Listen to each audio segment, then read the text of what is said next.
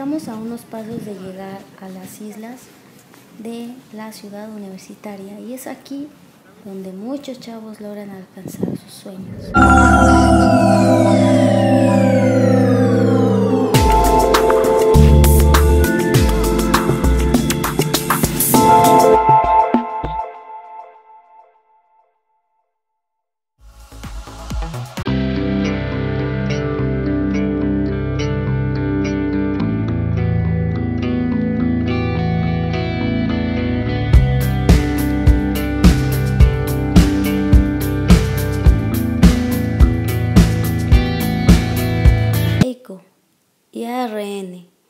Llamado también ácido ribonucleico.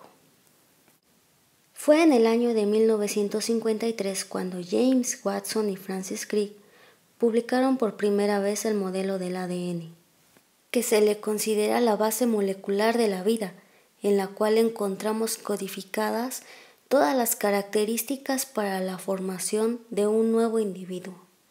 Para explicarte un poco más vamos a necesitar una célula.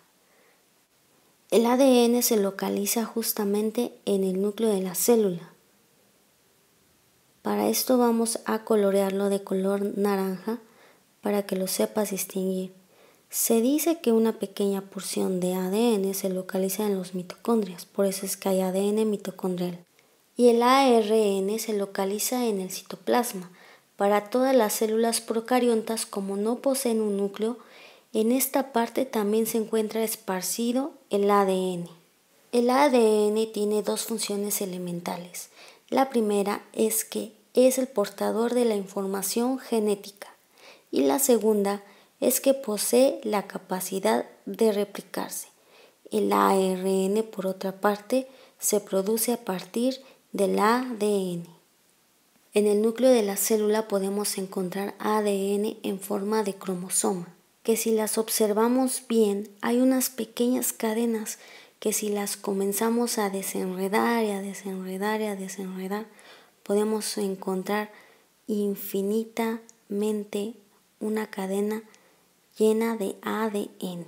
Como podemos observar aquí, en el ADN tiene una cadena bicatenaria, es decir, que tiene dos hebras o tiene una doble y el ARN solamente posee una, por eso se llama monocatenaria. Todos estos pequeños escaloncitos que podemos observar aquí se llaman nucleótidos y esto es muy importante que te lo aprendas. Esto es el nucleótido y juntos se van enlazando formando la cadena del ADN. El nucleótido está formado por una azúcar pentosa pentosa porque tiene cinco carbonos. 1, 2, 3, 4 y 5. Aunque la azúcar del ADN y la del ARN son muy similares, tienen una diferencia muy característica y muy importante. La azúcar pentosa del ADN no tiene oxígeno y la del ARN sí. De ahí es de donde viene el nombre de desoxi, ya que desoxi quiere decir sin oxígeno. Y el azúcar eh, ribosa sí contiene oxígeno. Eso es muy importante. Los nucleótidos también tienen un grupo fosfato o PO4. También tienen una base nitrogenada y eh, existen cuatro bases nitrogenadas para el ADN, que son eh, adenina, guanina, citosina y tiamina. Y para el ARN tenemos a adenina, guanina, citosina y uracilo esta base nitrogenada es diferente.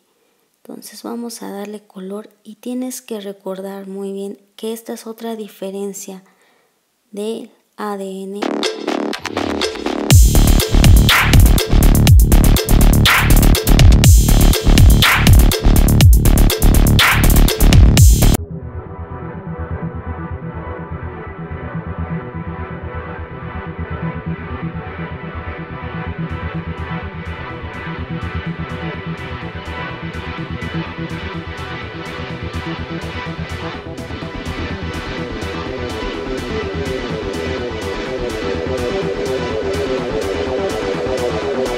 Posee una cadena bicatenaria o de doble hélice y el ARN posee una cadena monocatenaria. A la unión de moléculas más sencillas